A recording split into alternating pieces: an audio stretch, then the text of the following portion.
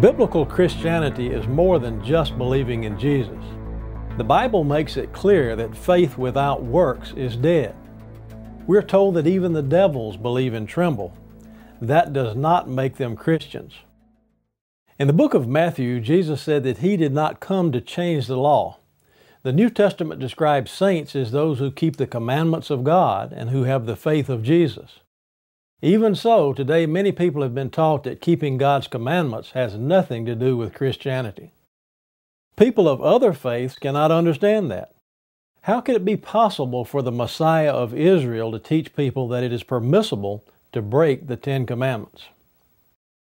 Well, the truth is that Jesus never came against any of the Ten Commandments. He kept them, and so did his disciples. He did, however, challenge the commandments of men. Today, the ruins of an ancient synagogue at Chorazin, Israel, can still be seen. And it was here at Chorazin that an important artifact was discovered a Moses seat. In Matthew chapter 23, Jesus spoke of Moses' seat, and an understanding of what Moses' seat represented helps us realize what was going on during the first century. Jesus spoke to the multitude and to his disciples, saying, The scribes and Pharisees sit in Moses' seat. All therefore whatsoever they bid you observe, that observe and do. But do not ye after their works, for they say and do not. For they bind heavy burdens and grievous to be borne, and lay them on men's shoulders, but they themselves will not move them with one of their fingers.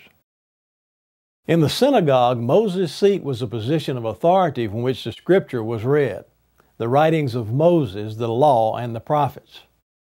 Jesus said to observe what was presented from Scripture, but not to follow after the teachings of men, for they had added their own rules and regulations. He called them hypocrites, saying that they shut up the kingdom of heaven against men.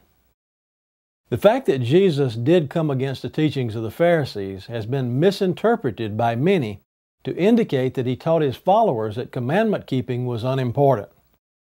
A careful study, however, reveals that he came not against the commandments of God, but rather against hundreds of interpretive teachings which made them impossible to keep.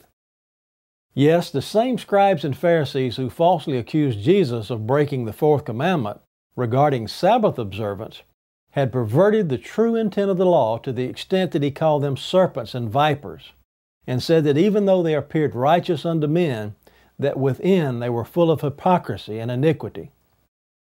Nowhere in the Bible, Old or New Testament, can we find instructions to disregard the Ten Commandments.